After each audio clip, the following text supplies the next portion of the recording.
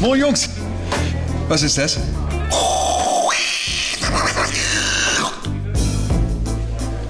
Espressomaschine. Könnt ihr auch irgendwas? Hä?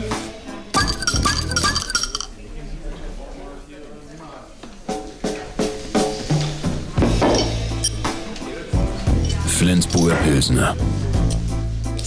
Das Flens.